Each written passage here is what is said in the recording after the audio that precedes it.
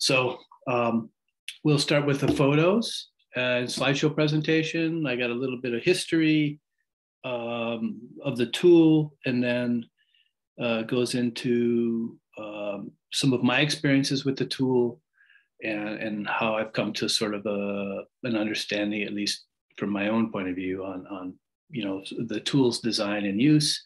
And um, then I'll do a, a demonstration, um, just talk about how they work. And you know, all of this is really for uh, you all to to help you to design uh, crooked knives that'll work well. Um, when I first got into them, uh, there's a lot of you know just slapdash information on the internet, and a lot of times, uh, from what I've found, which I'll get into, the handles shape were were very poorly designed and caused me a lot of physical pain. And um, so this is all to help folks like make good crooked knives so that you can use them. Um, and that's why we'll put it on YouTube so that people can uh, have access to this. Um, all right, so I'm gonna screen share and get going here. Okay. All right. So the crooked knife, or uh, otherwise known as Mocataugan. Um, that word Mocataugan is a Algonquin native Algonquin lang- language family. Um, here in Ojibwe territory, it was known as Waagikomaan. Um, and again, that's one of those subjects that could go on and on linguistically. Um, generally it, it's it uh, means crooked knife. Um, uh, the French also had a name. Uh, was it uh, couteau croche? Again, crooked knife. Um, you see that a lot with with different tools. They're just named in a sort of descriptive way. All right, why is this? Okay, there we go. So to start off, um, some of this uh, information um, I've gathered is, is from a great book, which is listed in the resource uh, page that Jasmine mentioned, um, called Mocataugan, and uh, it was written by uh, the Jalberts. It's a free download, um, and again, it's you can get access to it. But probably one of the best um, uh, published books, you know, on the subject. And so, you know, to talk about this knife or this tool, we need to we need to talk about um, technology and you know early man, our ancestors. um, our uh, you know stone was one of the first tools. So, can you see my cursor? Yeah, you can. Okay, so you know these first tools were were flaked stone, knapped, and you know, I was thinking about it this morning when laying in bed. Like, if you had your hand wrapped around this piece of stone here and you wanted to cut with it, you know, and, and maybe being a, a woodworker most of my life, you know, I understand how these tools work. Um, it would make more sense to pull it toward you. You'd have more grasping power on that tool, that that piece of stone, and you know you could just draw it toward you instead of trying to cut away. Um, you couldn't see maybe little less less control. So it's it's a pretty natural uh, i think to think about pulling tool, tools toward us to cut. Um, you know and then this the second photo here i think that one they say that's a speculative tool. I don't know if that's based on a real find. Um, but again, attaching some sort of wooden handle to things makes makes it easier.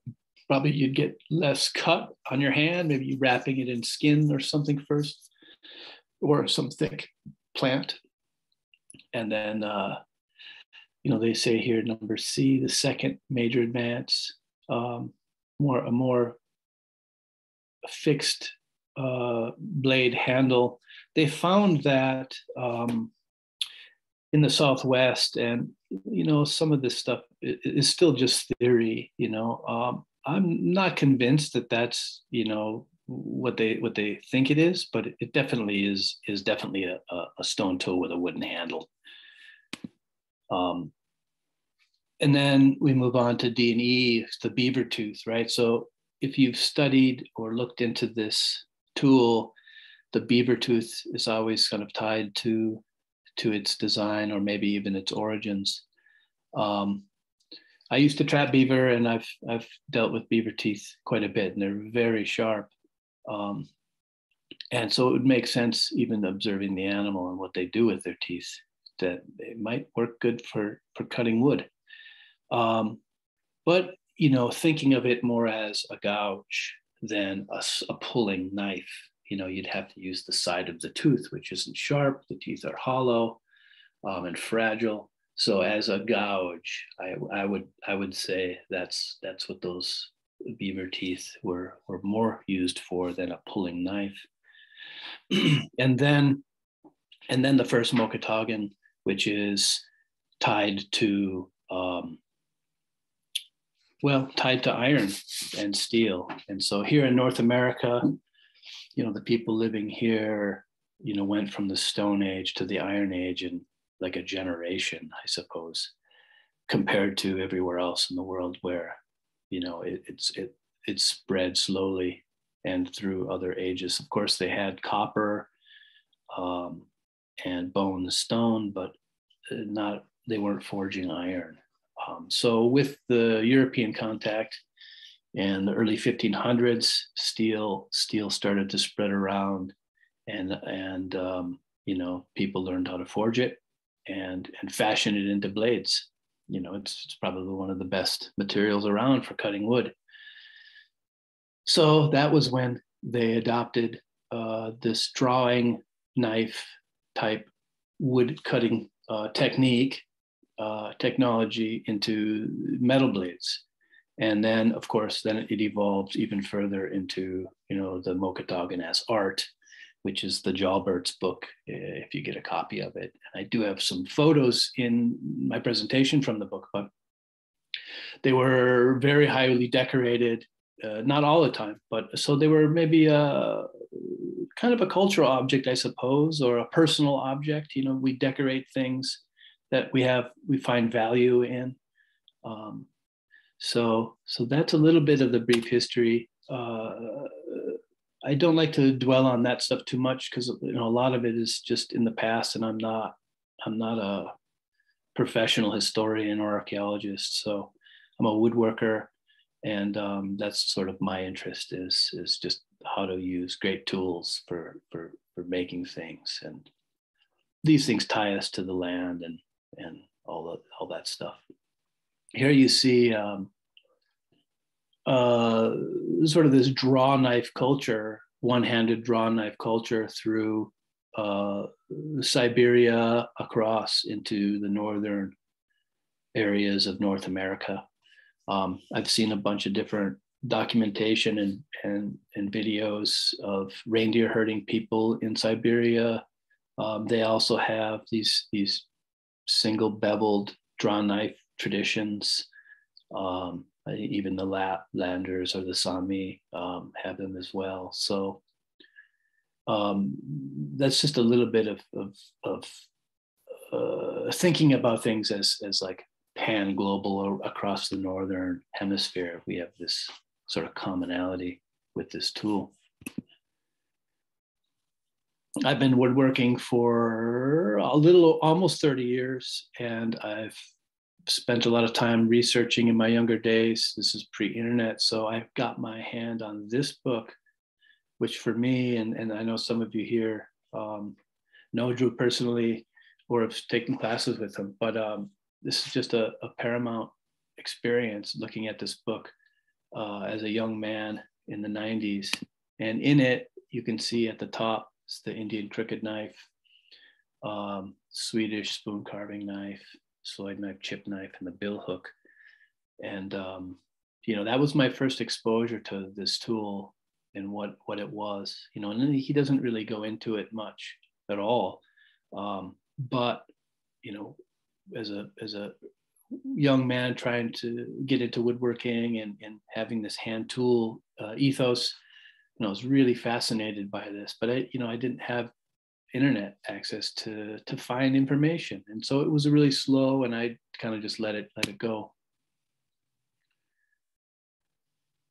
Here in northern Wisconsin or the Great Lakes region, again, this is tied to the steel uh, and the traveling of steel and trade goods. Um, you know, we have the fur trade. Europeans, you know, started to to seek uh, alliances with different native tribes and tribal groups. And the French, uh, you know, were allied with the Algonquin people. And you know, where I reside over here, this map's from the 1700s in in Chequamegon Bay, um, where the Ojibwe and Algonquin speaking people. Um, so with the fur trade and these alliances became, you know, steel, steel uh, was used and, and that technology. And so it, it was spread pretty quickly and pretty early on um, uh, post uh, contact with Europe. Here's a modern map for those of you who don't have a clear picture of United States in your in your mind. Um, so where I live is right here, sort of near the western shores of, of Lake Superior in the Great Lake chain. This uh, kind of commemorates uh, a spot right here. This is just down down the street by the water uh, from my house. Uh, two Frenchmen um, traveled west uh, in the 1650s and made contact with a lot of uh, the native people around the Great Lakes to to set up um, trade with for beaver, and these guys were part of the the formation of the Hudson Bay Company, which is a big, powerful organization at the time. Um, and again, there's books written on just the history of that uh, scene. Um, and so, you know, the reason I share this is just it's it's part of my area um, and the Great Lakes region and, and the fur trade and birch bark canoes in particular are all tied to this knife. Um, it's also known as a canoe knife.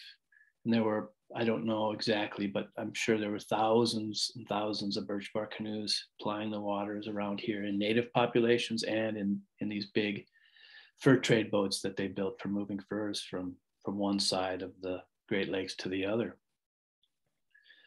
and so this is a, a painting from uh, Frances Hopkins, this uh, woman who is sitting in this boat here. Her husband was a uh, kind of a high up guy in the in the uh, I don't know if it was the Hudson Bay Company or not, but a high up in one of the fur trade companies, and she traveled with him one summer. And and there's a, a pile of her paintings, very uh, very well done, very nice. Um, of that era and fur trade stuff. So in Jalbert's book, um, they dug up the first mention of the word Mocataugan in English. Um, the French, I said, had had their name for it, um, and uh, it was a trade good. So this was in uh, 1748. Um, so you know, fairly early on, I guess, when you're thinking about trade into the fringes of civilization or the fringes of uh, the new world or or whatever way you want to look at it. Um, here is uh, a few photos of giant replicas of uh, these uh, fur trade boats. This is up at Grand Portage in northern Minnesota, where there was a fur trade post. It's hard to see in the photo, but you know, this this canoe down sitting normally as it would, you know, it's almost 30 feet. These things could haul tons of beaver and gear as people moved across the water. So the crooked knife is tied to canoe building, um, and it it really is for me uh, as well. Um, you know, the natives were were carving wood; they were wood culture, everything they used was was tied to that resource. Um, and uh, native communities feast a lot and and feasts are big ceremony uh, bring the communities together and celebrate you know the you know the the hard life that you live and eat together and share food um, so this this is an example of a native ladle uh, feast ladle and for those food carvers uh, here you can kind of see that the the design is a little bit different than this, like the kind of common Swedish uh, design, but the but yeah, I, am not going to go into that. And cradle boards, another example of of a native uh, object that was made from wood. This is what you would um, swaddle your children in, you know, and again, it would be riven wood. Um, axed out and then and then crooked knife down, shaved down to thin sections where they could then bend and and lash this thing together. Um, I used to make these and teach this here in northern Wisconsin at the different tribal community centers. So here's a photo of a typical um, crooked knife that and, and how the blade was fixed Of course, there's a- any way you can think of doing it was done. Um, but the most common way is this blade and its tang has a little bend in the in the very end. You know, so drilling into end grain handle uh, would be very challenging to get accurate. Maybe you could burn it in, arguably, um, but instead you could take your uh, small chisel or or your knife straight knife and just carve that slot, put a wooden plug in over it, and then lash it with with whatever you could string, um, fiber, uh, duct tape, you know, which happens in the modern times, wire. Um, and then you could replace the blade easily as well.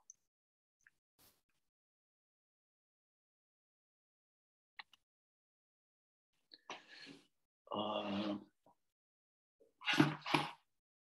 here's another diagram. That first diagram is from uh, Henry Vaillancourt's book, Making the Attikamek Snowshoe. This one is from uh, Adney's book called The Bark Canoes and Skin Boats of North America that he did with Howard Chapelle. Um, so here's another picture. And so these are some of the first photos that I saw um, with detail. There's a, a few other kind of Boy Scout uh, kind of stuff where they have pictures of or illustrations of crooked knives. And, you know, to go from this, uh, how do I make one of these? You know?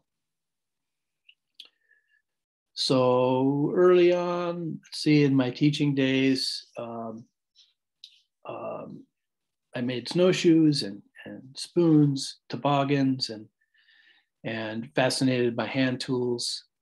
Uh, I've had some pretty great experiences working timber framing and blacksmithing and basketry, uh, formative experiences to sort of help me and give me confidence. And like, all right, I'm going to make a bunch of knives as I went along, and and um, and of course shared and taught what I was learning. So I was really fascinated with these elbow adzes for a long time, um, it could be another talk. Um, but you can see here a couple different crooked knives. There's five there. Um, and so early on, I, I made the first one. I don't have a photo of it. It's probably really bulky and the thumb rest wasn't in a good spot. And it probably just really caused me a lot of pain to try to use it. Um, so I, you know, had to go deeper. Like, all right. So I started experimenting with handle and thumb rest and blade sort of orientation. So this is probably like the second knife I made here. Um, really short um, blade, but but really extreme thumb rest. And um, you know, I learned some things. I you know abandoned it after a while because it's not that great, but I grabbed some just just some random curved antler and put a blade on it. That wouldn't probably work the least well. And um, this one with the uh, fishtail is inspired by the late Bill Coperthwaite in his book Handmade Life. Um, there's a photo of a similar one, more for carving, uh, like gouging has a really extreme curve to it. And then these two on the left were sort of moving in the direction that I am now, um, where I started to sort of get them to work well. So this was in my younger days. I made a lot of like ribbon snowshoes and would demonstrate, go to traditional skills and uh, winter camping symposiums, trying to get people to use traditional gear. Um, making snowshoes and, teaching. So this is one of my students up at the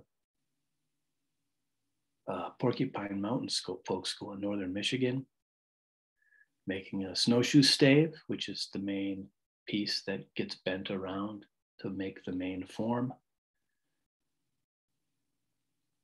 And through observation of teaching and watching how people interact with the tool too helped inform um, some ideas on design. So um, in, uh, when was it? 2006, I built my first birch bark canoe with a good friend of mine, uh, Joe Ugolano, on the shores of Lake Superior at a traditional skills event that, that we had we'd organized. It's a very small hunter's canoe. Um, what time is it, Jasmine? It's eleven twenty-six. Okay. Trying to get this light out of the. So um, I really learned a lot building building the canoe with with the crooked knife, right? Like everything was split and riven, and um, and and draw knife down into into its final shape before the uh, canoe was assembled. And that's something to mention here. Um, the way this style of woodworking, you know, it's a green woodworking. Um, we work with fresh timber, um, logs, uh, limbs, branches, just raw, pure raw material of, of trees. And, and we split them down with wedges um, and then take an axe and hew them to a smaller shape or further split. And then the final stage would be to use the crooked knife to uh, plane the surfaces to uniform thickness, uh, width, and, and smoothness. And so they're really like a one-handed draw knife. Um, you can see this, this old, old man here making snowshoe frames. Um, and uh, the beauty of the tool is that it's very portable. You can just sit and uh, start working. You need an axe and uh, a club made out of wood and, and your crooked knife, maybe a straight knife. Everybody had straight knives for cooking and eating with. So it's a real uh, mobile toolkit you can just travel around with all that stuff in your pack and you can pretty much make anything you need um, including canoes or bows uh, snowshoes for walking in the deep snow canoe paddles uh, and of course the tikinagans and uh, cradle boards spoons and bowls uh, very versatile tool um, it's said that uh, in some of the accounts when when the Europeans were were meeting natives in, in communities that they call these men's knives. Um, I would imagine it's because of the division of labor in, in those societies. And um, these men would have six, seven different crooked knives, um, all for different tasks. so that leads me to think that, you know, there may not be a uh, one size fits all. Uh, in particular, just the handle shape and size. These knives were highly customized for the user based on their experience of using them and growing up with them on a daily basis. Uh, that's really important to factor in. And so then we also uh, know that they would make multiple knives for, for these different tasks. And so, you know, as I went on to explore design and trying to make a better knife, you know, I, I considered these things that I was learning along the way or, or gaining insight to. Um, Moyes' knife, there's a photo of it somewhere. I didn't include it. It almost has a straight handle. It doesn't even have much of a tool rest or a thumb rest at all. And I'll get into how these knives work in a few minutes, but it really set off uh, an idea in my mind that the thumb rests that I were seeing were, were too extreme. Excuse me. Here he is kind of trimming uh, a snowshoe frame that's already bent.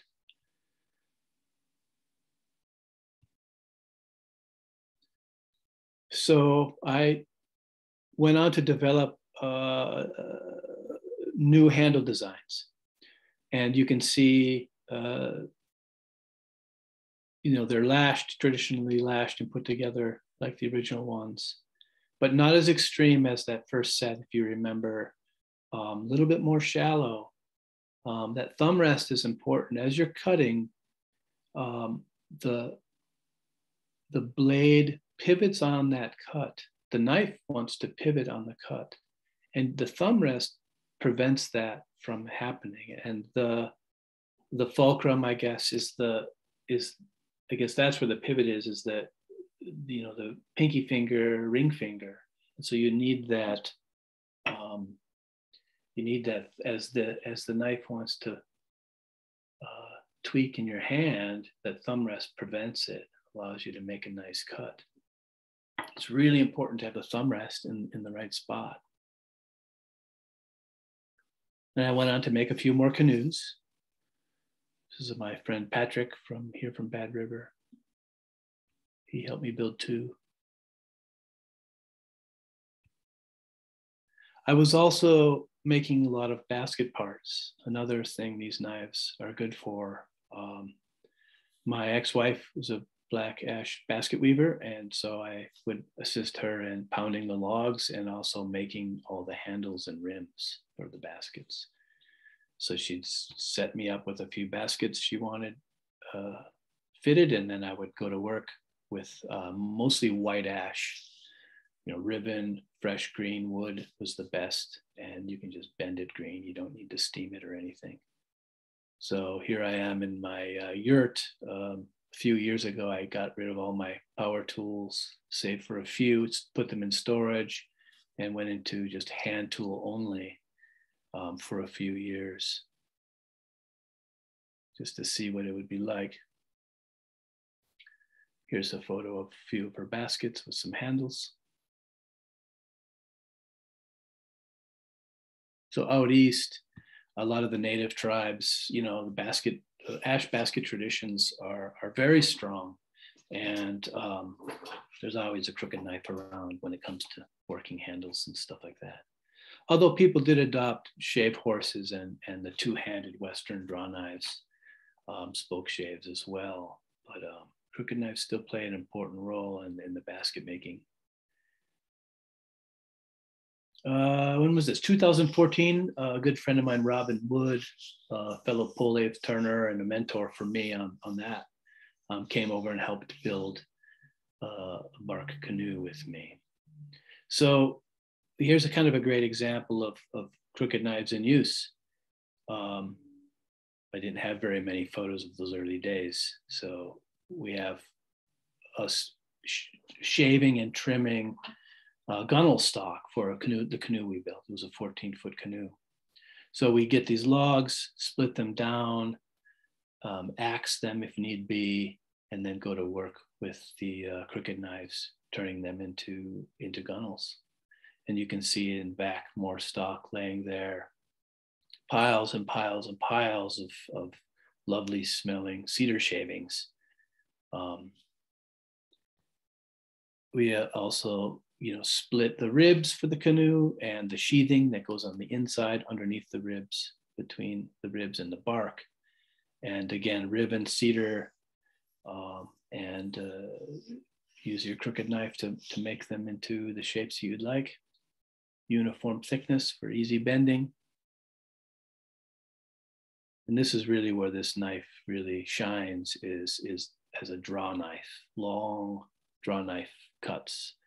So for canoe parts, snowshoe parts in particular, you know, those cradle board parts, um, uh, sh- wooden shovels, which the Northern Cree used. I made a bunch of those. Uh, that that works great as well.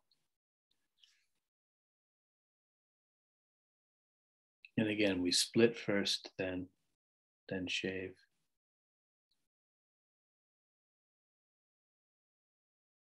And I don't know if everybody's familiar with bark canoes, so I wanted to kind of put in a few of these photos just so you can see the ribs go in, help shape the hull, and then they get removed, and then a, a thin cedar sheathing gets put in, and the ribs get put back in into their final position.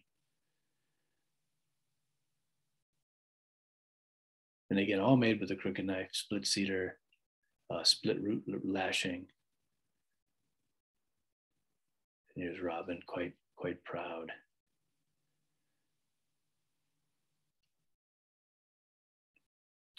And then the year later, we went and took it up to the Boundary Waters, um, a really great place in northern Minnesota, a pure wilderness. And um, we went for a five day trip with his apprentice, who's in the front of that kayak, and his good friend um, from Milwaukee, I forget his name off the top of my head. And we went for five days. I took a 1930s uh, wood canvas canoe.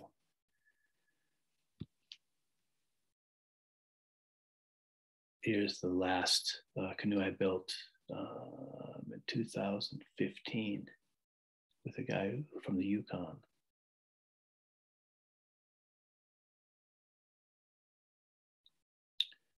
So we'll get into the knives a little bit more now that we know what they're good for and how to use them.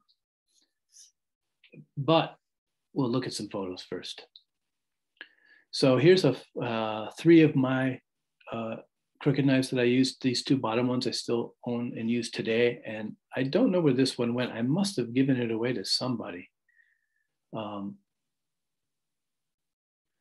one of the things that I'll talk about a little bit more in detail or show you is that the handle has the thumb rest and then the blade is kind of kinked a little bit too. And it can go uh, kinked in this direction like the bottom one, or um, if you can see me, the, the blade can be kinked back as well. And that's kind of what they're saying. They think why crooked knives are called crooked knives it's not so much the curved tip of the blade, because we find probably more people, uh, more knives, I should say, uh, with straight blades. So it can't be the blade itself. It has to, it has to be how the blade is affixed to the handle, or maybe the handle. Who really knows? So here's some that I uh, used to make and sell. I would take custom orders get people's hand measurements because I'm convinced that they need to fit your hand um, to work well. You see that someone's trying to get in, Jasmine? Um, so I would I would take people's measurements and then make these blades. And then instead of the traditional lashing, you know, nowadays we have drills and fancy drill bits and epoxy. So I just drill and mount the tang into the wood like we would any any normal sloyd or carving knife. And so here we have some uh, historical pieces, and we can kind of see some of the fancy, some of the fancy decorations and um, and, and how they were put together. This is bound with wire. You can see that the knife is inserted into the back of the handle and then wired on. This is all from the Jalbert's book. And arguably, you know, I don't know if all of these were really working tools or not. You know, we don't know this for sure. Um, possibly. Some might have been for show or for sale, you know.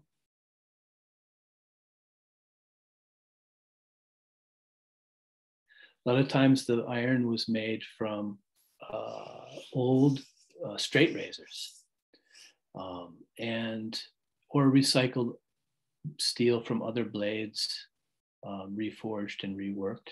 You know, that's the beauty of, of blacksmithing is that you can reshape that metal in lots of ways. You can layer it and weld it and turn it into something else entirely. Um, and you know these native tool makers you know could easily easily did that type of work once hammers and, and things like that started to spread around and again they were a trade item as well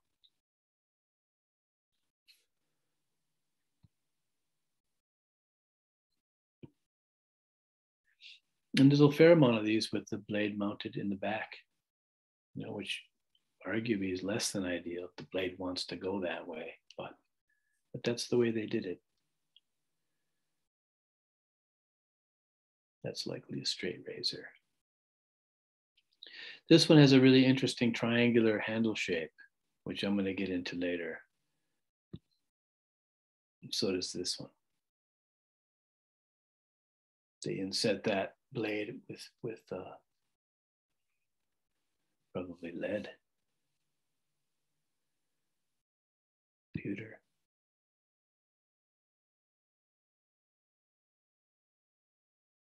So if you really get your hands on the Jalbert's book, you know, there's, I don't remember, hundreds of them, uh, photos in there. And, and a lot of them are, you know, highlighting the art of the crooked knife. I myself am more of a down and dirty, you know, let's just use them and not so much with the fancy stuff. But still, these are the examples that we have to look at. And what I'm interested in is this relationship of the thumb rest, the handle size and shape, and the way the blade is mounted uh, in relation to the handle, not into the handle, but how it's related to the handle.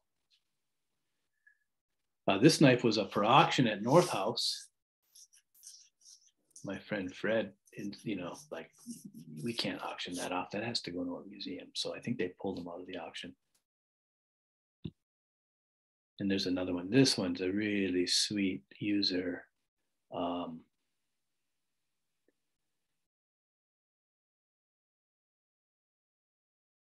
with a really extreme hook on the end. So, you know, what was this straight one used for and what was that curved one used for? If people had multiple uh, knives in their toolbox, so to speak. So one for hollowing, one for, for canoe parts or snowshoe parts.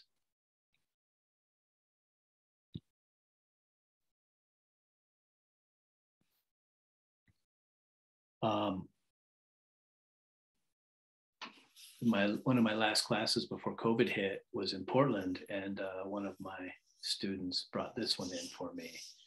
A really nice um, really nice handle and blade, cut really well.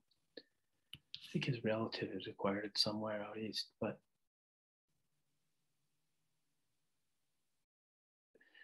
and I'll get into this, but what I really like about this is this tool rest.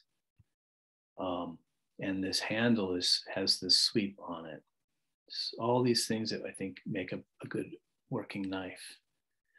so from the knives that I've, I've seen and used, you know, there are some that are exceptional from what I, what I define as a good knife. And of course, anything will work, but um, does it work well?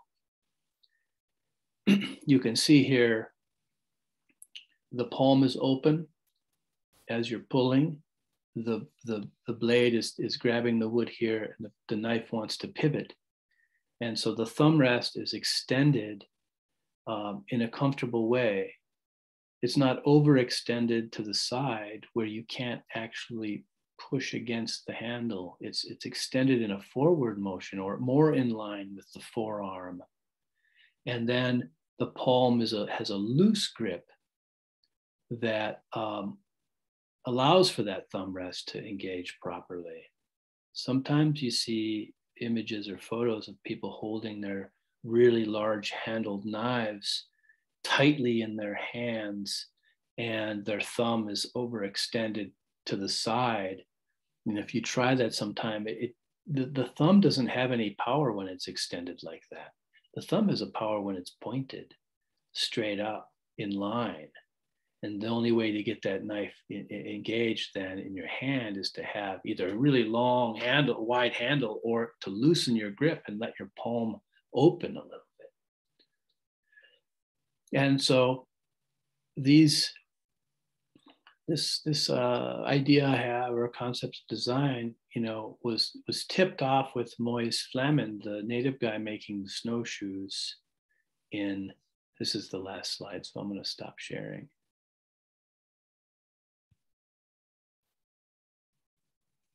Um, exit.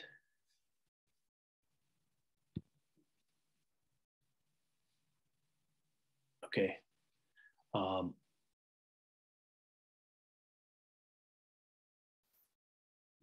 just give me a second here. If you guys have questions, make sure to send them to Jasmine and not me. Someone sent this to me. Right.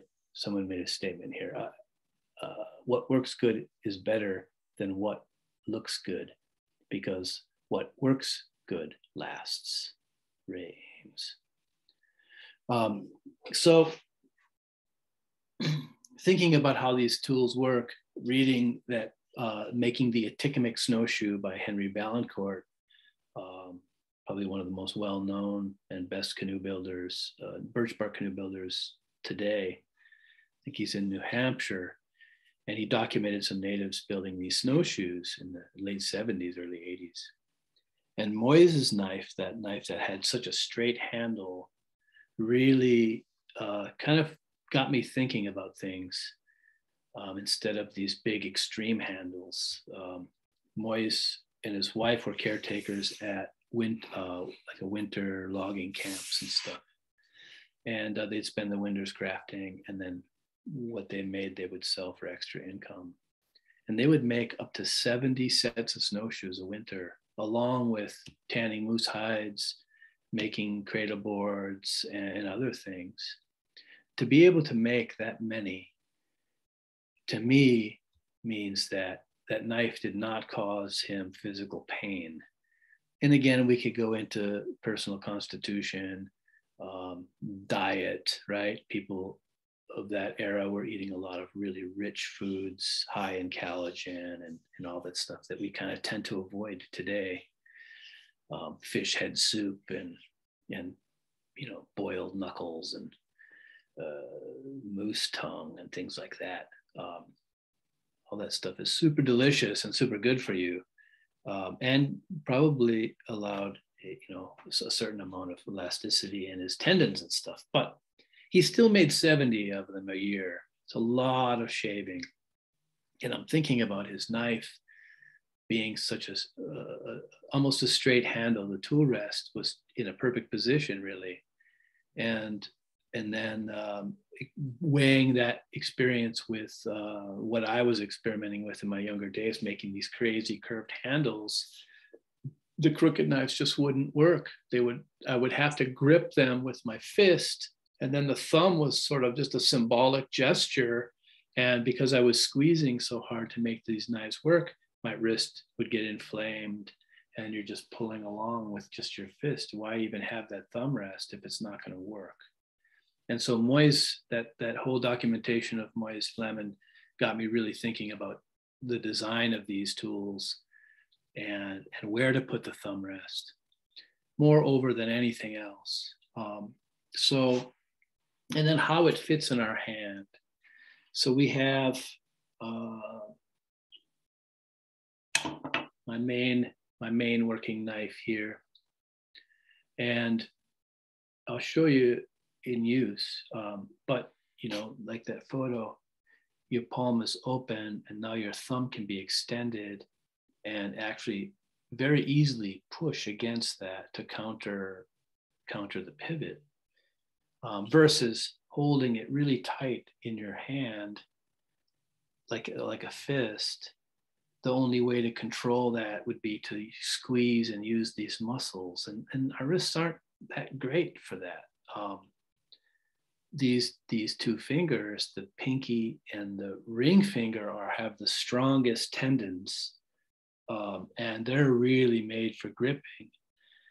Um, so we we can we can really squeeze with those and not hurt ourselves. And I learned some of this from physical therapists and stuff over the years. We have this extended. The other key is the the shape of the handle cross section. So you know, when looking at this shape of my open palm, and it's it's kind of triangular. It's not round. So we want a crooked knife to be to fit that. There's a couple people kind of coming in. I got it. Um, to fit that comfortably. And that's going to allow for the most control for depth of cut. So those are the two, the key things that I've I put into my knives is is that cross section and a thumb rest that isn't as extreme, so that I can keep my palm open and and reach the thumb rest instead of if it was really crooked. And I don't have any of those old examples. I've tossed them, but um, if you if your hand if your if your thumb rest is really crooked you're going to have to grasp further down in your palm to get your thumb up into that position and then again you're going to be squeezing more your thumb rest may it may be extended and it may work but um, i'm not saying that it won't but it's really important to think about it the worst would be a, a thumb rest that forces your thumb too far out then you have no power to control uh, just to stop the fulcruming action. And you know, I learned that through a little bit of experience. So this is one of the earlier knives that I made, and I used quite a bit. Um, this section here is a little bit too wide for my hand, and it it it, it, it works okay. Um, and but this cross section is uh, too large in, in cross section, too big a diameter. It doesn't fit in my hand very well. And without those facets, it's more round. Um, it, it rolls around a little bit more, harder to hold on to.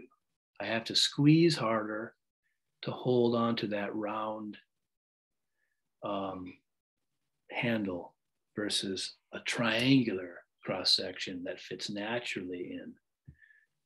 Then I don't have to squeeze as hard.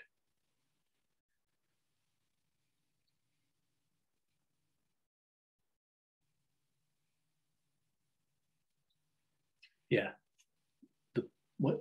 Do you want to switch over to? Yeah, yeah, yeah. Yeah, post post your comments to Jasmine. If anybody has any questions, you know, now would be time to kind of launch. We're going to do a little bit of a demo. Um, yeah, Jasmine put the link in for the book. It's it's sometimes hard to get. Um, there's a bunch of different sites for free books, and sometimes you have to register. Sometimes you have to pay um, like she said, I have the link to that in, in the resource PDF that's on the page that you registered for this talk. All right, Jasmine's gonna turn on her phone and film. There she is. And then um, I'm gonna shut my camera off. Leave my mic on. Spotlight. Yep, you're on the bottom make co-host. Oh, that's not the person. Wait, where did you go? Oh, you're at the top now. Be patient. Oops. Spotlight for everyone. Wait, oh, the pin videos.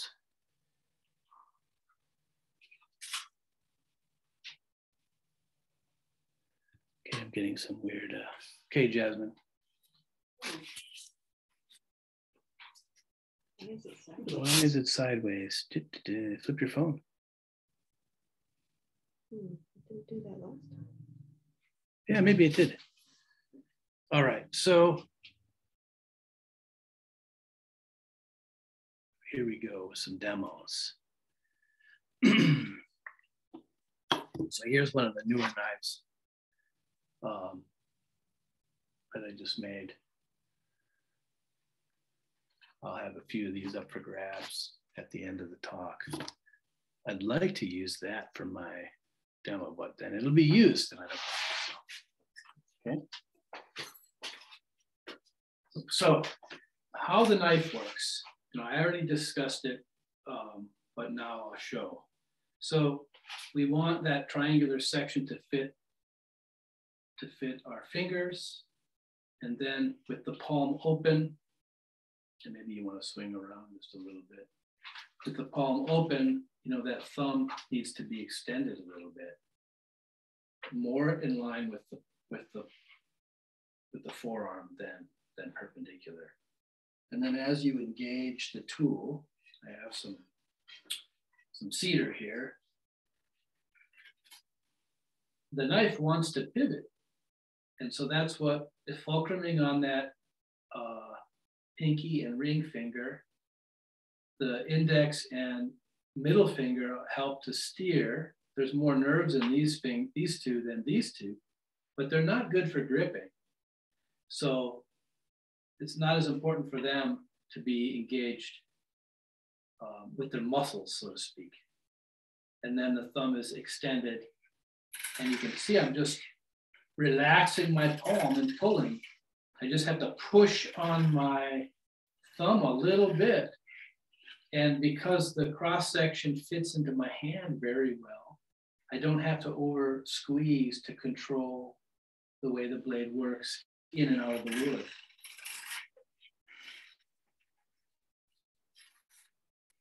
So this is the position in which you work, you know, sitting on a chair or sitting on a stump. Um, and again, cedar, cedar is a pretty soft material, um, even when it's dry. But as I'm carving, just notice my palm. It's open.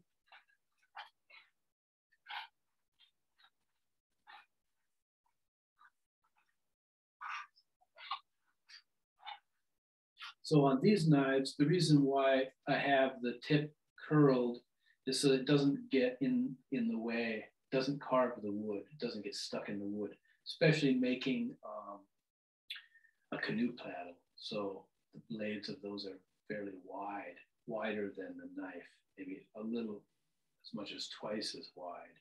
So you wouldn't want that end of the blade to get stuck in, in the wood if you're using all of your blade. Um, and this slight curve allows for a little bit more slicing action, I guess like a scalloping action on your cut.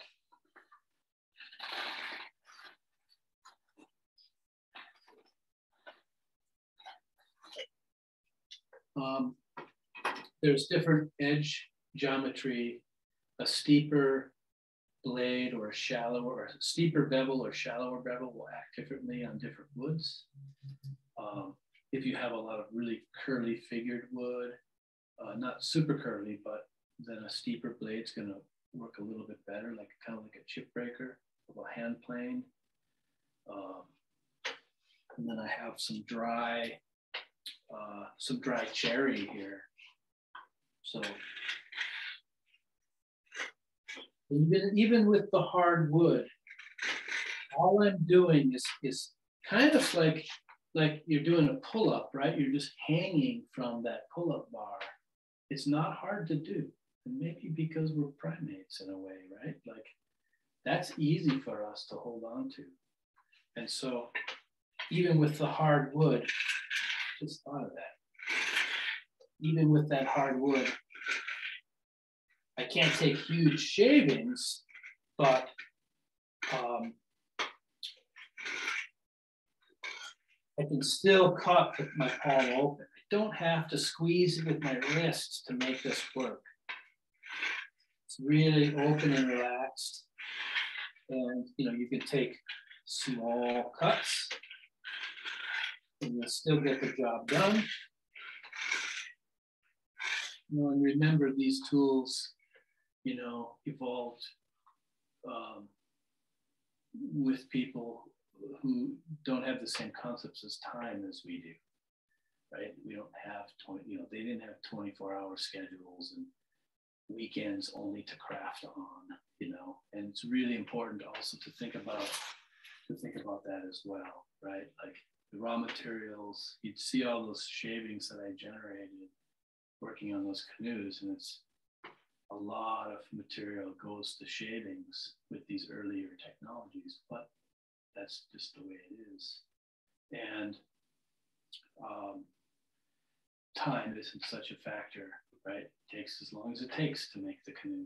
Um, so when we're working with this stuff as more modern people, um, and that's not in a judgmental way do I say modern, our concepts of time, we're, we're, we're always hurried and we're always thinking or trying to fit things in you know, for crafting for hobby or even the professional sense, this time is a, is a big factor. And um, it can get in the way, especially when you're working and thinking about earlier tools, you know. So back to like small shavings. I could do this all day and not get fatigued. And this hard cherry, which is hard dry cherry, which is pretty hard versus trying to muscle it in. Yeah. So we got a question about sharpening the blade, and I thought maybe you'd talk about forging mm-hmm. yeah, a little yeah. bit. Do you want to switch over? Yeah, I'll go back there now. Um, and uh, we'll answer some questions because we're, we're pretty much done with the demo. Um, turn my camera on. Yeah, okay, and I got a couple questions here pin. I think I'm the main, main yeah. screen now. I'll, I'll share this with you as yeah. well. Um, some, uh, Jeremy said, seems there's a slight skew based on the blade attachment. Yeah. And then uh, Eric said, is there no bevel on the bottom of the blade? Right. Good questions. And Jared mentioned the bevel angle. What is the average angle he uses? 15 degrees or more? Single edge, double edge bevel. So those are the questions. So what I what I found, and you know, we could make the argument that everybody's different, but I don't know if that's that if if we're that different that that uh, some of this stuff wouldn't apply to everybody. I'd say the size of the handle and thumb rest location for smaller hands versus really large hands plays in. And I learned that through making them. Um, for people sent me the, their dimensions. I had them measure their digits and their thumb and the width of their palm and all kinds of straight dimensions that I needed. And surprisingly, the average, um, there's an average hand size, and then there's some really small ones, and then some very few large ones. Um, and this angle here allows, you know, for some adjustment as well. But all that said, when we're carving, it's nice to have your hand tilted up just a little bit as I'm working. And so that's why the blade is, is a little bit kinked in the handle like so. This one shows it better. Now there's a limit to this, um, which I found out. I'm like, all right, I'm gonna make one really extreme. And what happens is when it's too far up, it just pivots. It just pivots around and you can't, you can't hold it. So, you know, there's a limit on how extreme that bend can be. And then, you know, the back, you know, you could mount these blades like a lot of the older ones, they had a skew, they had the blade mounted in a skew. And I think that's completely legit. Um, but when you're when you're carving a wide canoe rib, having a skewed blade and then trying to control thickness of the cut is more complicated because there's a, a diagonal involved with that blade as it skews. So I opted for uh, a straight blade coming out of my handles. It's easier to see, and especially for, for people who are new to it they don't have to deal with that extra layer of complexity of having a skew blade tip across the surface of the wood and be compounded by that angle. So there's a couple different answers uh, to the questions in that. Um, and again, there's no rules, but we have to be honest with ourselves. And does it really work well? Or is it, you know, just pride that brings us to the place of, yeah, this is an awesome tool. It's like, well, maybe it's not. Here's my angle bevel finder. And I don't really keep track of angle bevels that much. I can never keep it straight. Kind of like I don't know when my birthday is sometimes. um, this one's pushing 30. It's like 28. Um, this one's going to be shallower. Ooh.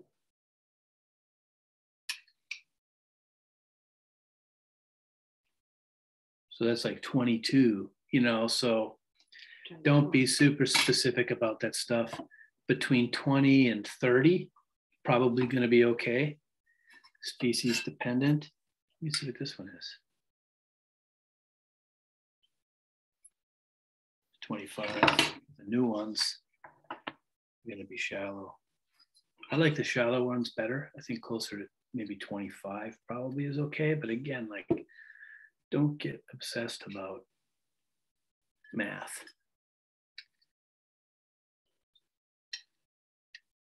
Usually when things go awry. Uh, that's 26. More questions? Um, let me see here. It's got to be more. Doesn't look like it. Maybe we'll just wait one more minute and then. Yeah, we yeah. Say goodbye. We're gonna we're gonna wind down. It's been uh, an hour. Um, I hope everybody enjoyed themselves and learned something. Um, hopefully, you'll uh, make a good crooked knife. It doesn't have to follow my protocols, but hopefully, this will give you some insight and some things to think about when you're make, making them. Um, There's a few comments coming in now. Uh, why don't you why don't you read read them? Oh, the single bevel. Uh, it's a single bevel tool. I should have made that clear from the very beginning, and maybe I mentioned it, but a single bevel tool, uh, flat down, and and then the bevel up. Um, I usually run a, a little convex on the flat side so that you can control a little bit more. But a full bevel down, you, you're going to have to accommodate that in your handle shape because your handle's going to be twisted a little bit because of the bevel. So you could, but you'd have to tweak your handle a little bit more. Oh, the last thing I wanted to mention too is that mm, it's hard to see the the blade itself is level with the top surface of that triangular cross section. Let me get this knife instead. So the blade here is parallel to this. I have it right there. you can see on the uh, chalkboard the uh, crooked blade and the blade should be oriented to the top surface. That helps just put the palm in a good spot. Okay, have you ever used a good crooked knife made from a farrier knife? Um, the farrier knives tend to be really flat and the handle in line. So they might be a soft steel, you could bend them. Uh, and then the handles aren't set up quite nicely. So you just carve a little flat in it and then it, it will work. My biggest uh, problem with farrier knives is the steel tends to be really bad. It doesn't hold an edge very well. And that little crook on the end um, sort of prevents it from being sharpening all the way. So I'd like, I'd cut that off and then uh, it might work in a pinch, but it's really soft metal. Um, so it can, but there's pros and cons to all of it. How do you sharpen? I sharpen with a, um, well, first off, when I maintain my edges, some of you are going to freak out about this. So some of the natives, when using these, they would just, they would just burnish their edge with another piece of steel, kind of like a scraper. And so what that does is that pushes some of that metal down into, this is your flat bevel, it pushes the tip of the blade kind of like so and helps it to bite.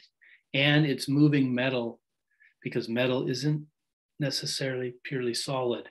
You can move that metal a little bit with the burnishing. So that's one way of maintaining the edge is to burnish. The second is um, what I use is a piece of sandpaper wrapped on a wooden dowel. And I use that on the inside.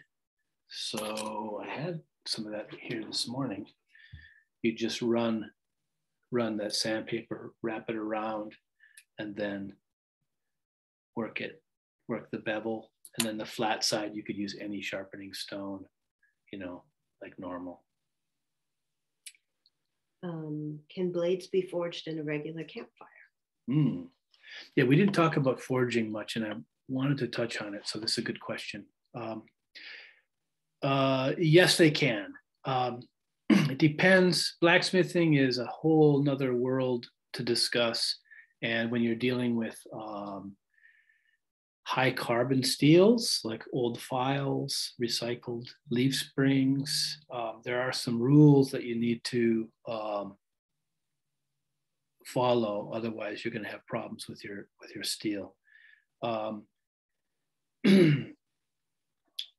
and I'll just be really brief. You, you can look this stuff up; it's readily available, but you need to take the hardness out of anything you're salvaging by heating it to where it loses magnetism and then letting it cool slowly. And then after that, you could forge it, like hammer on it. It'll be soft, or you could file it or grind it with an electric grinder. Then you need to heat it back up again once you have it shaped. And so a fire will attain, I think, maybe a thousand degrees up to two, uh, 1200 maybe. If you could blast some air in it, you could probably get it up to 1600 just burning wood.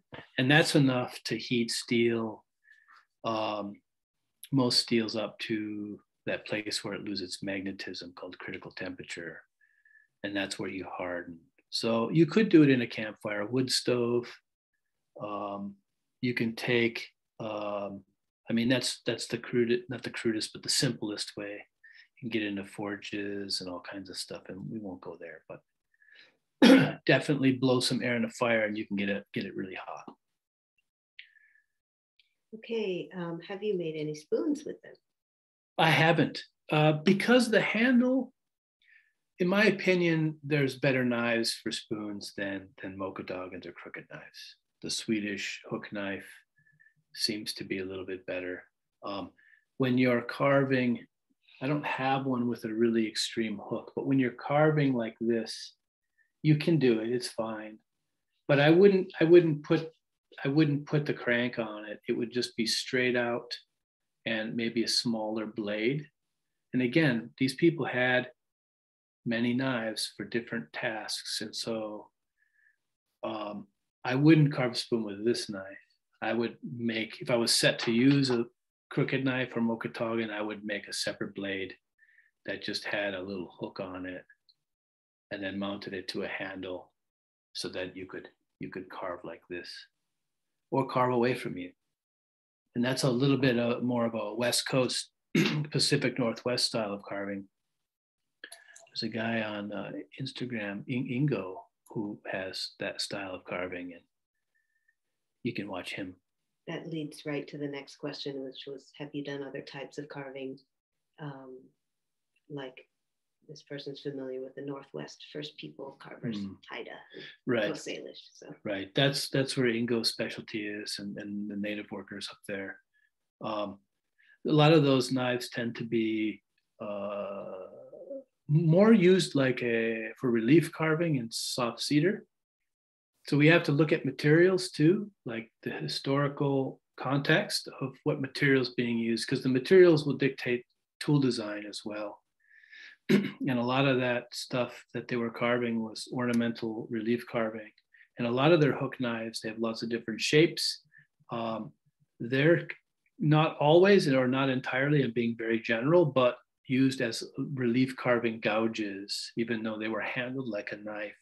They were carving, they're double sided. And so you could you could carve in, you know, these giant relief carvings in their totem poles and ornaments in their architecture and, and things like that. So,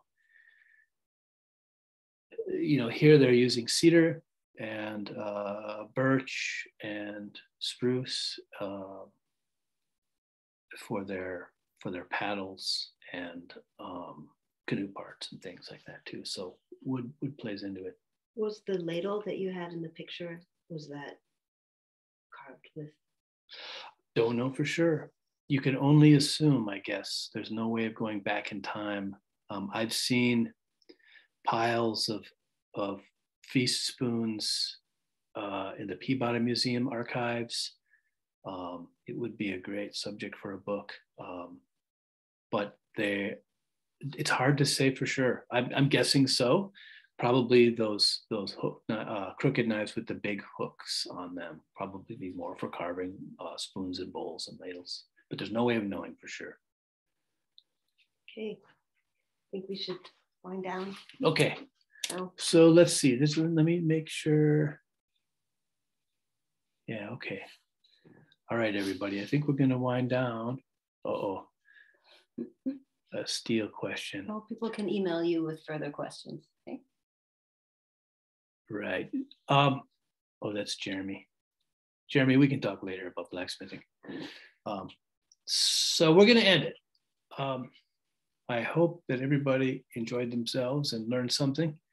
Um, thanks for the donations. Um, a little bit of the news is, you know, I've been teaching all over for a long time, and last couple years we've been teaching more closer to home, and we just closed on a piece of property that will be a school um, and my workshop. Um, so look for that kind of information coming out soon when we uh, start communicating about it. But um, we're already talking to a few uh, famous, well-known English spoon carver friend of mine. Some of you may know who I'm talking about, and, and also a Japanese spoon carver. Um, so we're hoping to get some of these uh, instructors, and then I'll teach classes as well. So that's some of the donations that you gave are going to that to that fund that's going to help get this school off the ground. So thanks a lot. We really appreciate it. Um,